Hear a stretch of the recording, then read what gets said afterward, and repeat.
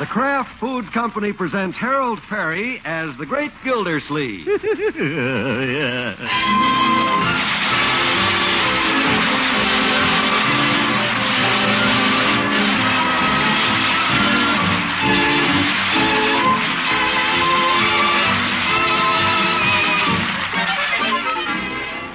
The Great Gildersleeve is brought to you by the Kraft Foods Company, makers of the famous cheese food Velveeta. Everybody goes for Velveeta's rich yet mild cheddar cheese flavor in snacks and sandwiches and in hot dishes. And hidden in that swell cheese flavor are important nutrients from milk. That's why smart homemakers keep Velveeta on hand regularly to spread or slice and to melt for grand economical hot dishes. Tomorrow, get Velveeta, the cheese food of Kraft quality.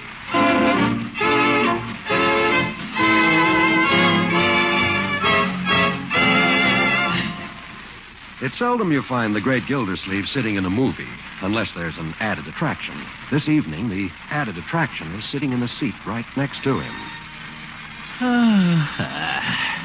Comfy, Adeline? Oh, yes, and we're just in time. It's starting.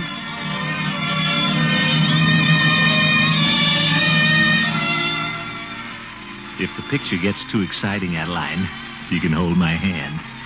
But Throckmorton, this is a romantic picture. Oh? Well, then I'll hold your hand. All right. Hmm. Nice title. Love is love. I know you'll just adore Anthony Dane. Anthony Dane? Who's he? Who's Anthony Dane? Oh, Throckmorton.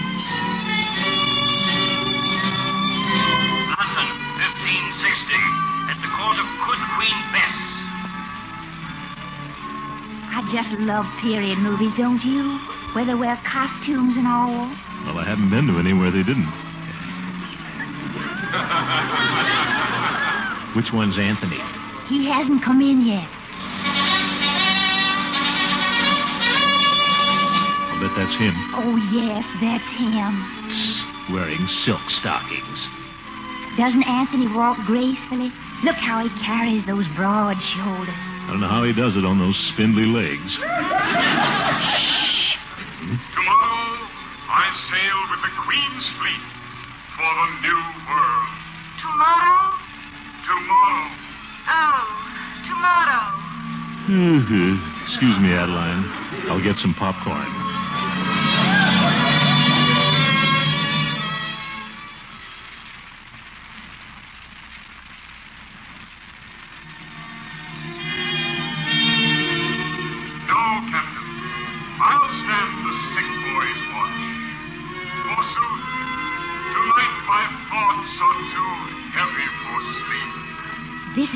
Void scene that I've been waiting for, Throckmorton. Anthony's soliloquy about love in the crow's nest. Huh? Excuse me, I'll get some more popcorn.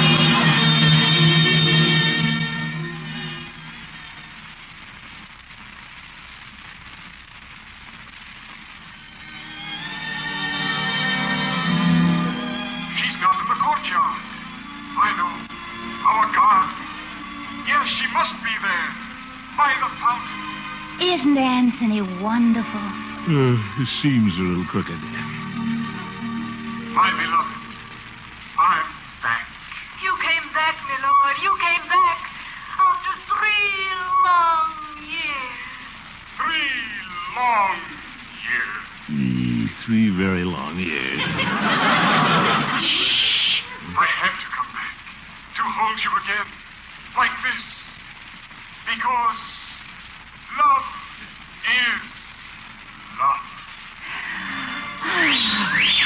Oh, my goodness.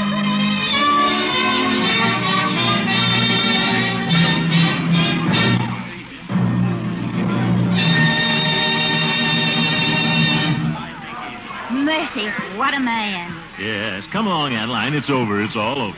All right, but I could sit here all night. Pardon me. Pardon me, miss. Madam. Oh, but we can go home and talk about it, and I'll make some coffee. Uh, let's walk by the, the office first, huh? Pick up some cigars. I chewed all I had to keep awake. Can't you get some at Mr. Peavey's? I'd love a soda. It's pretty late, Adeline. Everything's closed now, and I'm too tired to go shopping around. Well, if you're so tired, Throckmorton, let's call a taxi. Taxi. I can't sit down anymore. Three long years.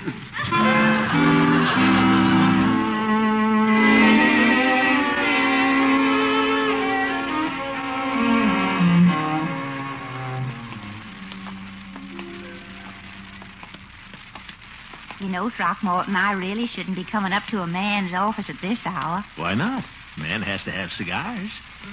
Well, if the Queen's attendant went to the fountain with Anthony unchaperoned, I guess I can go to the water department with you.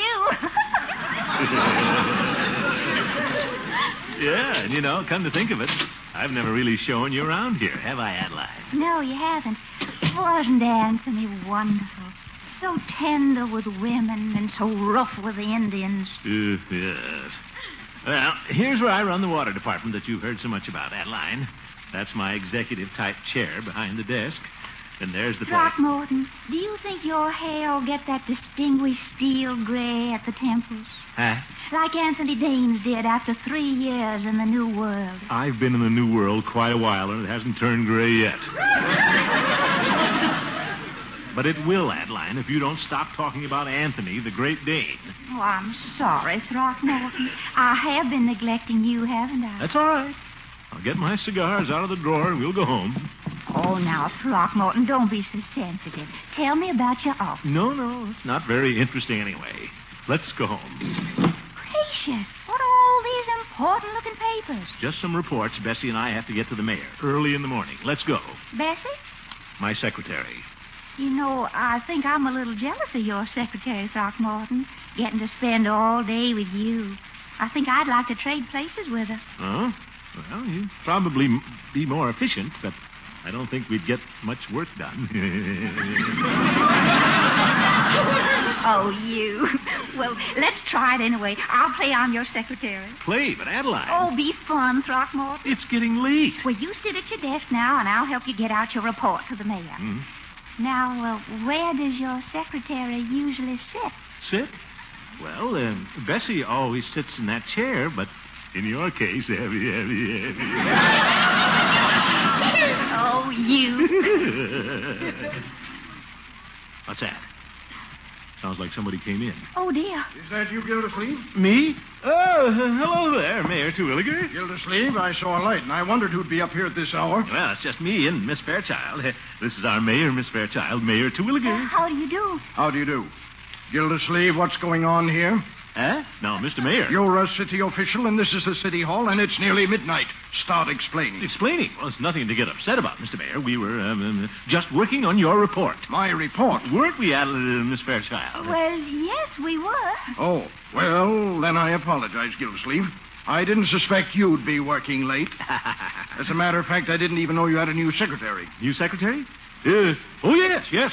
New secretary. Well, really, I- uh, now, Miss Fairchild, never interrupt the mayor. That's all right. I think you've done the right thing for once, Gildersleeve, getting rid of your old secretary. What? There have been lots of mistakes coming out of your office, and I knew you couldn't be making all of them. Well, I try to do my part. what? I mean, Bessie makes a few mistakes, but she's not a bad secretary. Nonsense, Gildersleeve. She was grossly incompetent. You know it. But- I know you hated to let her go, but an executive has to be hard at times for the good of the city. Oh, yes, for the good of the city.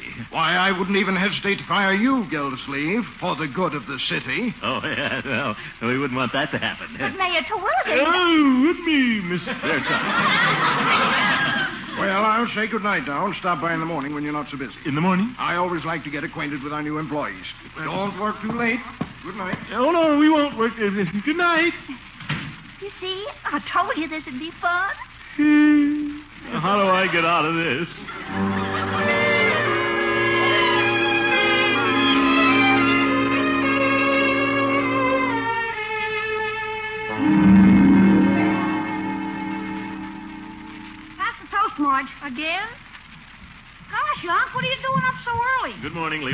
Marjorie. Unky, you are up early. Early? Not so early. Birdie, breakfast. I'm in a little hurry. That you, Mr. Gildersleeve? You up early. Oh, my goodness. You see, you are up early. What's up, Unc? Leroy, I just have to get down to my office and take care of a few things. Each approved. You want some of the paper? Leroy has the comics. No time for the paper. I'll read the comics to you, Unc. Oh? Wow, Biff, Zoe, take that. to be continued. Oh, my goodness. Leroy, I have a big enough headache without that machine gun stuff. Your eyes do look tired, Unky. Didn't you sleep well? No. Birdie, let's hustle it up. Uh, here's your juice. I didn't know you getting up for it. What was that? Uh, oh, juice. What did you and Miss Fairchild do last night, Unky? well, uh, we went to the movies. To the movies, not you. What'd you see? Did you see Wolf Call? Same thing, practically. Love is love. Not love is love with Anthony Dane. Anthony Dane. What a drip. Oh, Unky, didn't he just thrill you? No, I can't say that he did. He's a drip. He is not. Do you just like him because all he does is make love, love, love. Leave him. Don't try to be smart. He's a drip. Unky, make him stop. Now, Leroy, let's not have an argument. He can't help it if he's a drip. Here's your bacon and eggs, Mr. Gilsleeve. You sneaked up on me this morning. Uh, thank you, Birdie. Let me know next time you want it early, and I'll have it ready for you anytime you want it early. Now, Birdie, let's not make a big thing of this. There's nothing so unusual about me getting to the office early. Leroy. All you got to do is let Birdie know when you want breakfast early, and she'll have it ready anytime you want it early. Fine, Birdie. I heard you come in so late last night, I didn't think you wanted it early. How was I to know? That's all right, Birdie. But all you got to do is let me know anytime you want it early. Yes, Birdie. I'm up anyway, and all you got to do is let me know anytime you want it early. Ye gods, I'll never get up early again, not even to save my job.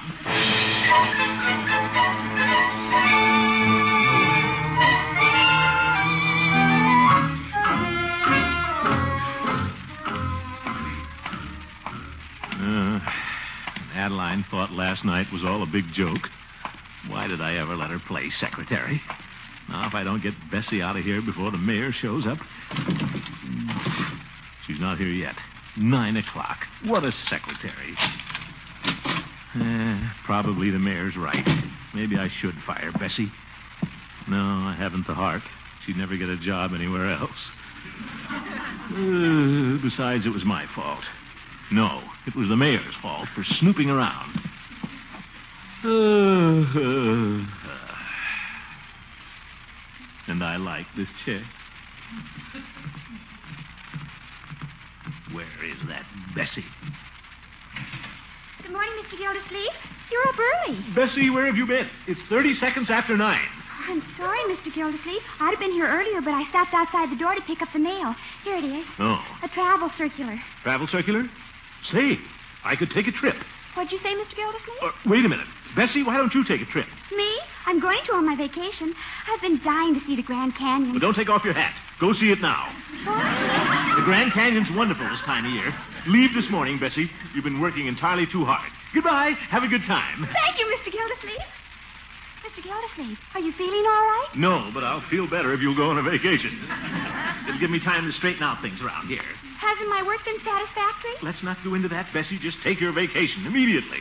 But, Mr. Gildersleeve. Please, Bessie, don't argue. Vacate. Mr. Gildersleeve, this isn't your nice way of telling me I'm through, is it? No, Bessie. When you come back, everything will be the same. Oh, I'm so glad, because a terrible thing happened to my girlfriend when she went on vacation. Yes, yes. When she came back, her boss had been fired. Get going, Bessie.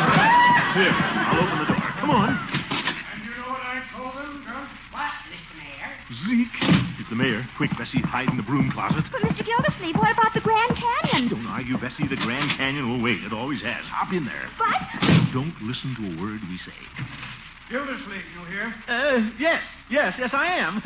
Good morning, Mayor Terwilliger. Good morning, Commissioner. And Judge, uh, what are you doing here? I just had to come over, Gildy. The mayor tells me you have a new secretary. Yes, where is she, Gildersleeve? Uh, well, she's in the broom closet. I mean, uh, I mean the Grand Canyon. That is, she's out at the moment. Oh. She sounds like a busy little girl. oh, she is. Uh, we were just discussing vacations. That's why I I mentioned. hear she's very attractive, Gildy. A blonde. A Blonde. Yes, yes. I'm sorry she isn't here, but I must get to my office. Tell Miss, uh, uh, what's her name, Gildersleeve? Well, uh, I- Fairchild, wasn't that it? Not Adeline Fairchild. Your secretary?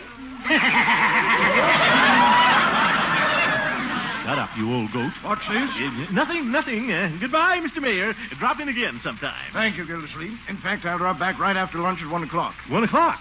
The girl's new. I think I should familiarize her with municipal operations. Well, she's been familiar. I mean, she, she might be out to lunch at one o'clock. Well, have her here, Gildersleeve. If she doesn't mind working until midnight, she won't mind being in the office at one o'clock. Well, Gildy, this is a juicy bit of gossip. It seems the water commissioner has a skeleton in his closet. I have not. Come out of the closet, Bessie. What? Oh, Mr. Gildersleeve. Where? Bessie. I heard everything. You're going to fire me. No, I'm not, Bessie. Let me explain. I'm going home. Great idea, Bessie. Stay home till I call you. And stop crying. Yes, stop crying, Bessie, because if you heard everything, he doesn't dare fire you ever. I think I'll go to the Grand Canyon and jump in.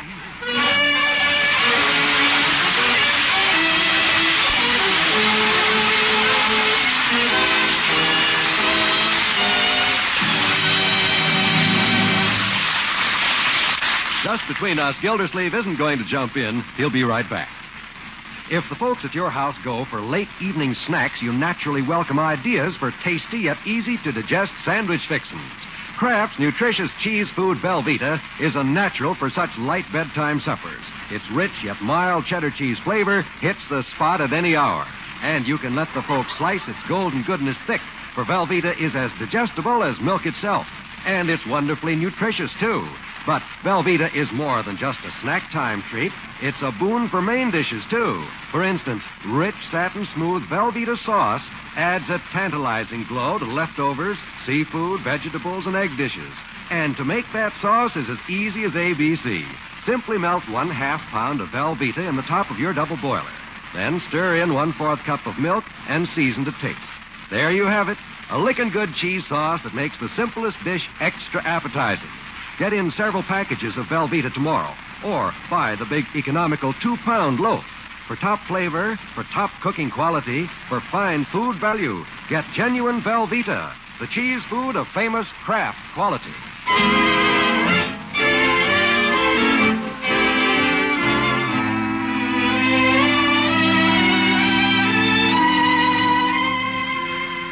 Well, it's been a rough day for the water commissioner, and it's getting rougher.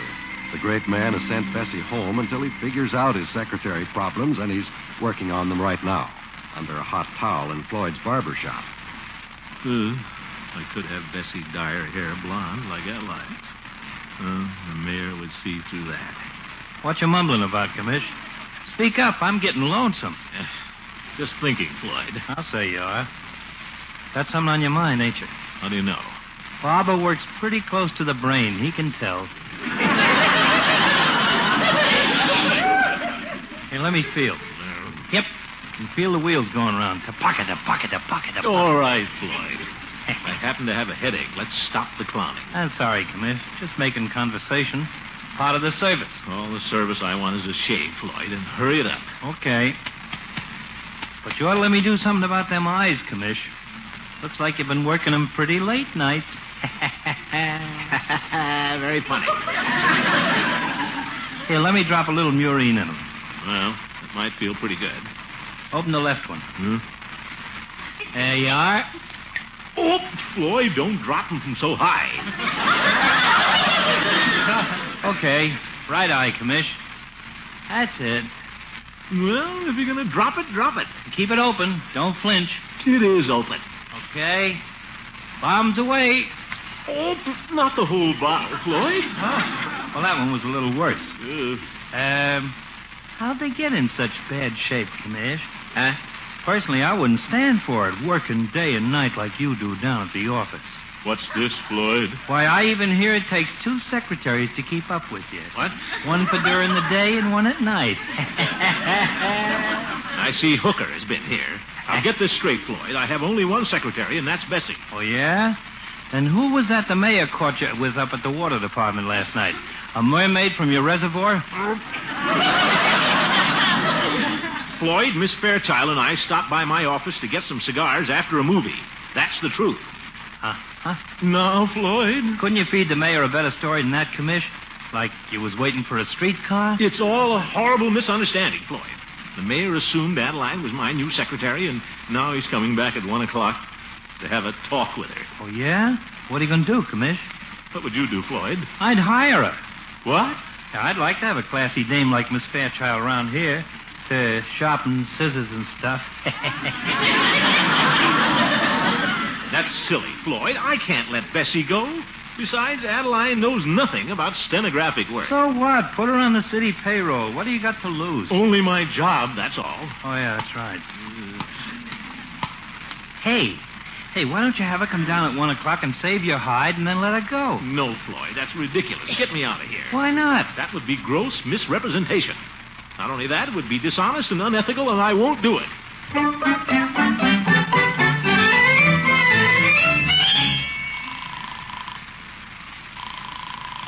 Hmm. Adeline doesn't answer. Well, I'm kind of glad. I'd hate to be dishonest and unethical like that Floyd.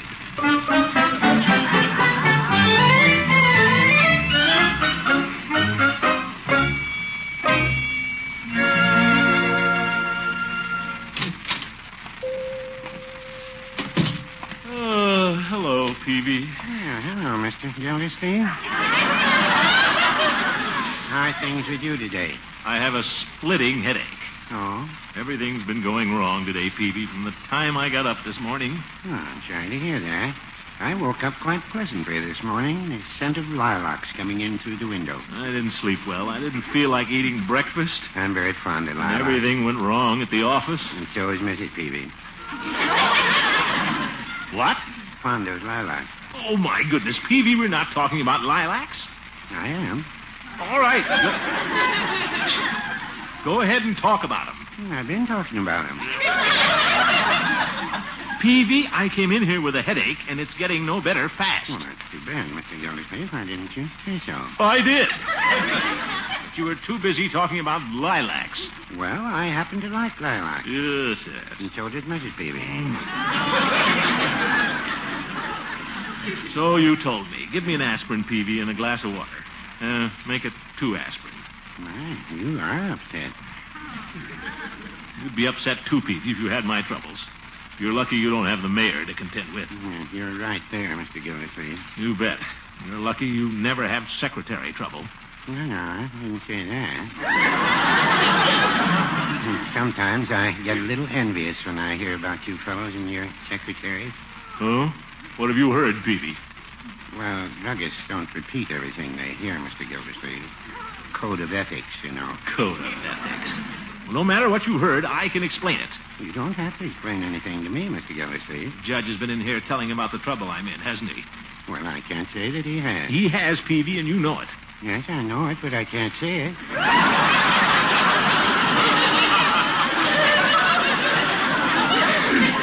Code of ethics, you know. Code of ethics, yeah. I don't care what you've heard, Peavey. The only thing I'm worried about is what I'm going to tell the mayor at one o'clock. You care for another aspirin? No. It's too big a problem for aspirin. Peavey, I respect your opinions. What do you think I should do? Mm, that's the question. There's an old saying, he who dances must pay the fiddler. But, Peavey, there's been no dancing and no fiddling. Pretty sound advice. And then there's another one. He who plays with fire. Oh, I give up. Don't you want to hear the rest of it? I know the rest of it. I've read your almanac. What? So long, poor Richard. Thanks for the aspirin. Hmm. All that advice, and you didn't buy a thing. I think I'll take an aspirin myself.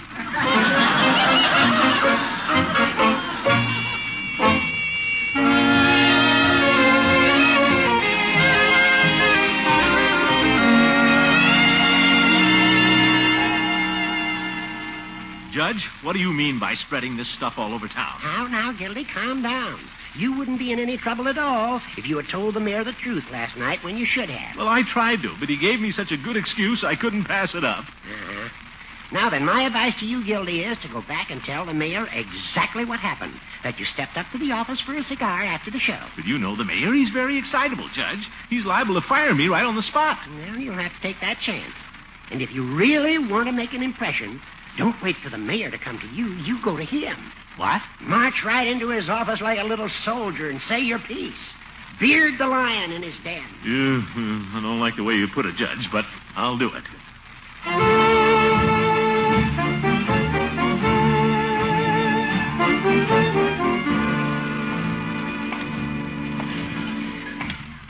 Beard the lion in his den.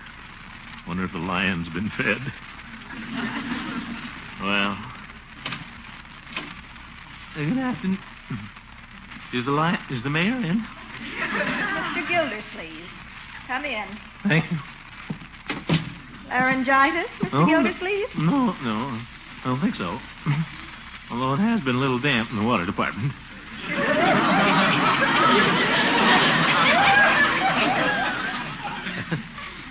Is the mayor in? I expect him back shortly. He went to lunch a little late. The mayor was very busy this morning, cleaning house. Cleaning house? He's on quite a rampage. I'm afraid we're losing some of our personnel. Oh? He's due at your office at one o'clock. Well, yes, but I. Well, Gildersleeve, there you are. Uh, yes, Mr. Mayor, here I am. Well, it saves me the trouble of going to your office to tell you what I have to say. Well, I. I've found out a few things since I talked to you last. You have? Well, if it has anything to do with my new secretary. It has everything to do with your new secretary. And Gildersleeve, this calls for a change in the water department. I will not tolerate people who are undependable, frivolous, and who shirk their responsibilities. That's me. Now then, about this new blonde secretary of yours, this uh, Miss Fairchild. Yes? On the way back from lunch, you know what I discovered. she was going into a movie on city time. To a movie? Some ridiculous picture called Love is Love. Gildersleeve, you have to let her go. Fire her. Fire? Well, if you say so, Mr. Mayor. What are you laughing at, Gildersleeve? nothing, nothing. Good old Anthony Dane.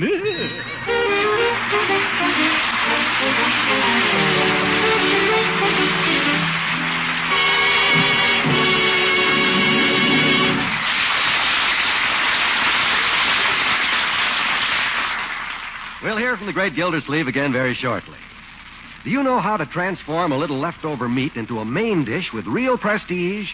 You do it with Kraft smooth melting cheese food Velveeta. Simply melt Velveeta for a wonderful cheese sauce. Then pour it generously over leftover ham, chicken, or veal and serve on toast or in patty shells. What a sparkling, flavorful way to make your meat dollars go further. Velveeta's rich yet mild cheddar cheese flavor gives sandwiches an air of importance, too. Serve Velveeta plain or melted in a tempting golden hot sandwich. Any way you serve Velveeta, it helps supply high quality complete protein and other valuable milk nutrients. Get Velveeta in a big economical two pound loaf so you'll have plenty for snacks, sandwiches, and main dishes.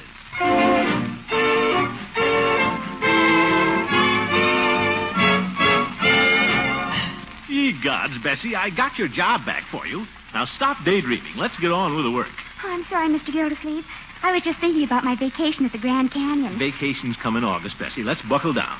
Here it is nearly five o'clock. We'll never get these reports to the mayor. Mr. Gildersleeve, may I make a suggestion? What is it, Bessie? Why don't we come back tonight and work? No, no, not that.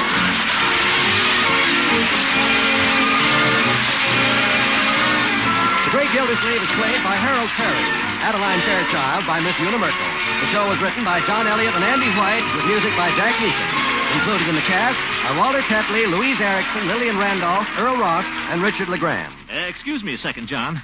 I'd just like to remind everyone that United States government security bonds are a mighty good investment, both for our country's future and for your future. You get $4 back for every three you put in. Folks, buy those bonds regularly. Thank you, Hal. This is John Wald saying goodnight for the Kraft Foods Company, makers of the famous line of Kraft quality food products. And me too. Be sure to listen in next Wednesday and every Wednesday for the further adventures of the Great Gildersleeve.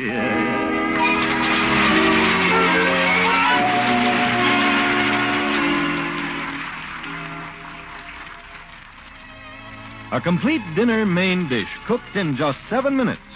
Grandmother would have said it couldn't be done. But every package of Kraft Dinner gives you both ingredients for a macaroni and cheese dish that's hearty and delicious. There's the special Kraft Dinner macaroni that cooks fluffy light and tender in just seven minutes. And there's golden Kraft grated that you stir in for a grand cheddar cheese flavor. What's more, Kraft Dinner costs only a few cents a serving. So for quick, economical macaroni and cheese dishes with a distinctive goodness, get Kraft Dinner from your food store tomorrow.